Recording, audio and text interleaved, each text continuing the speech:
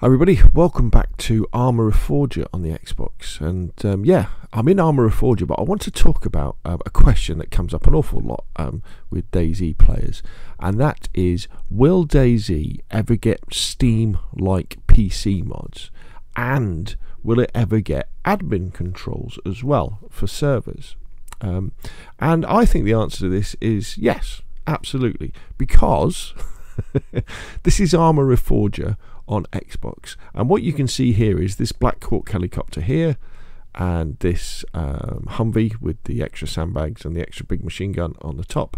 These are mods made by people that um, a Steam Workshop like that we can uh, take in. And also, if I press pause ooh, on my uh, controller and go to Game Master, I am now in um, an absolutely amazing admin mode. Is like Zeus mode from Arma 3. Um, it's, it's Game Master, so I can spawn in whatever I like. I can change things. I can add more enemies. I can put in structures, all sorts of wonderful things, which is which is a which is an admin mode. So so you know this can happen. It it does work right now on Arma Reforger on Xbox, and uh, the reason why this is coming to um, DayZ eventually, I'm not saying now, I'm not saying in the near future, I'm saying in the next couple of years, is that Arma Reforger runs on the Enfusion engine, this beautiful engine that you can see here. Um, that looks really, really cool, um, is the newest version of the engine that DayZ run on. Now, DayZ runs on a bit of a hodgepodge of an engine. It's it's kind of um. That's that's with an E, E N F U S I O N, um, and virtual reality, um, Real Virtuality, which is the uh, Arma engine. Um, uh, but Bohemia Interactive, the publishers and developers behind DayZ and Arma, you know, have said they moving forward they want all their new games to be on this new engine. And I get the feeling that they probably want to license out this engine to other devs and other publishers as well because it is incredibly powerful. Looks really good. Um, and therefore, I do not see why they wouldn't at some time in the future port um, DayZ over to this because it kind of makes sense in terms of uh, workflow um, within a studio, within a development studio. The fact that if everybody's working on the same engine, you can share assets, um, you can share skill sets, and you can share developers, can't you? Now, the other thing I would say is even if, even if that wasn't the case, even if Bohemia Active decided actually it's too much hassle to try and port DayZ over, we're, we're not going to do it. We're going to leave it running on um, real uh, on the old version of Enfusion. Um, and we, are just going to leave there, which is highly unlikely because DayZ makes Bohemia Interactive an enormous amount of money on PC and especially console. But even if they said that, what's going to happen is that someone in the Enfusion Arma, whether it be of Forge or when Arma 4 comes out, community will make a DayZ mod in Enfusion Arma Reforger or Arma 4, um, which you will then be able to download to your Xbox um, as part of uh, uh, Arma and play. And, and so, so it's going to happen one way or the other. Um, so let me let me come out of this and let me show you. So let's go into the main menu. Now remember, this is all on my Xbox. This I just want to show you how kind of the workshop works um, in Arma Reforger. So let's go to, back to the main menu. So this is the main menu, and then if we go to the workshop here, we can see these are these are all the mods.